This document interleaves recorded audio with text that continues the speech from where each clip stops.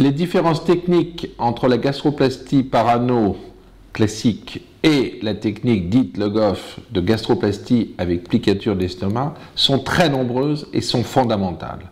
La première différence, très importante, est un passage rétrogastrique, c'est-à-dire au ras de l'estomac, de façon à ce qu'il y ait un chenal étroit qui maintienne l'anneau et non pas à distance de l'estomac, en dehors des vaisseaux nourriciers, qui fait que l'anneau va gigoter en arrière, va bouger et ne sera pas tenu.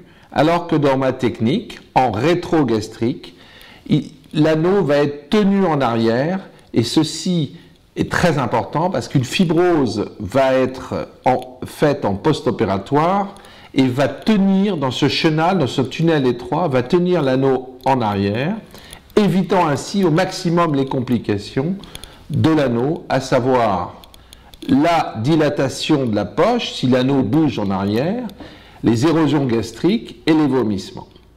Donc première différence fondamentale, passage au ras de l'estomac de l'anneau. La deuxième différence fondamentale entre la gastroplastie classique et la technique dite le gauche est le dégraissage de toute la face antérieure de l'œsophage, c'est-à-dire on retire toute la graisse qui existe et qui est d'autant plus importante que les gens sont très obèses, évidemment, et de la partie basse de l'œsophage, partie haute de l'estomac, de façon à permettre d'avoir une fixation solide. En effet, cette fixation solide de la valve dont on va parler ne va pouvoir se faire que sur la paroi de l'œsophage ou sur la paroi de l'estomac, mais sans graisse.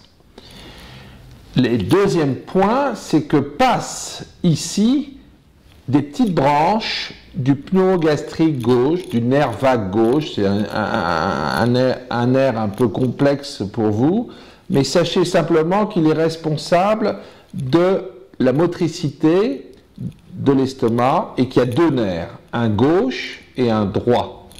Et donc, on est obligé, quand on retire toute cette graisse, on est obligé d'enlever des petites branches terminales de ce nerf. Sinon, on, est obligé de laisser la graisse. Ce qui entraîne, comme je l'ai dit, une meilleure fixation, mais le fait de retirer ces petites branches terminales d'un seul nerf, il y a un autre nerf ici, ça n'a aucune importance globalement, sera juste une petite action, ça va diminuer légèrement l'évacuation de l'estomac. Cette évacuation va se faire plus lentement, et ce qui est très intéressant dans l'obésité, parce que si l'estomac se vide plus lentement, les gens sont rassasiés beaucoup plus longtemps. Donc, point fondamental. La troisième différence technique entre la gastroplastie classique et la gastroplastie avec plicature de l'estomac, dite technique Le Goff, est la plicature, on plie la partie haute de l'estomac. La partie haute de l'estomac s'appelle la grosse tubérosité, que l'on va plier, donc on la prend, on la libère, on libère les adhérences, et on va la plier et va passer au-dessus pour fixer l'anneau. Si on plie comme ça cette partie de l'estomac, on va forcément réduire l'estomac en dessous et au-dessus. Et cette grosse tubérosité, cette partie haute de l'estomac, elle est très intéressante dans l'obésité. Pourquoi? Parce que c'est cette partie-là qui se développe, qui grossit quand les gens mangent beaucoup.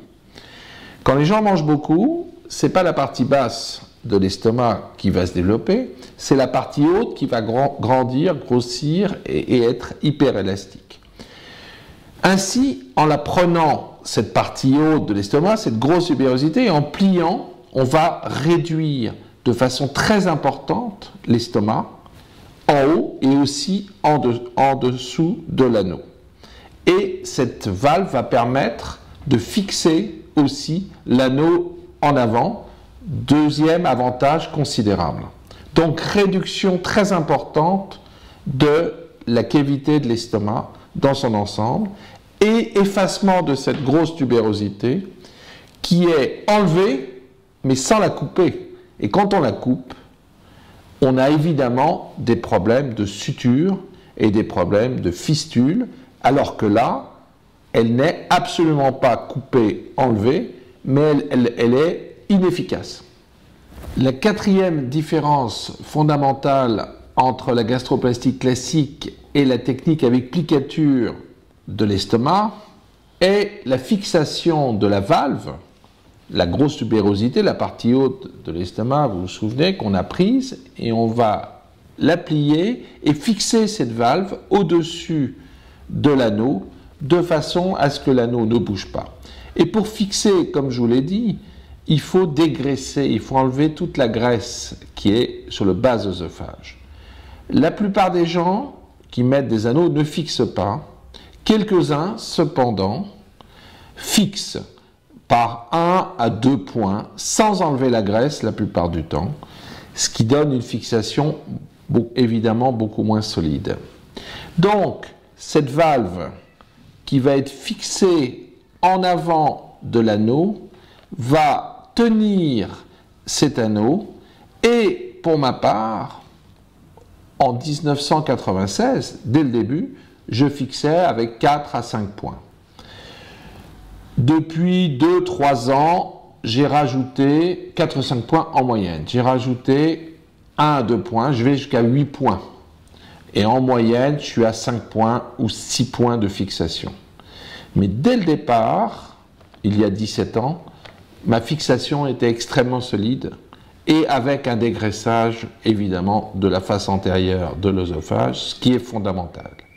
Et enfin, dernier point qu'on va voir plus tard, mais qui est très intéressant, cette fixation de la valve sur la face antérieure de l'œsophage va stimuler des centres de la faim et va faire que les gens ont nettement moins faim, voire plus faim du tout. En buvant un verre d'eau, par exemple, des patients disent Docteur, je bois un verre d'eau, j'ai un peu faim, je peux tenir encore 4 heures sans manger. Donc, quatrième différence fondamentale.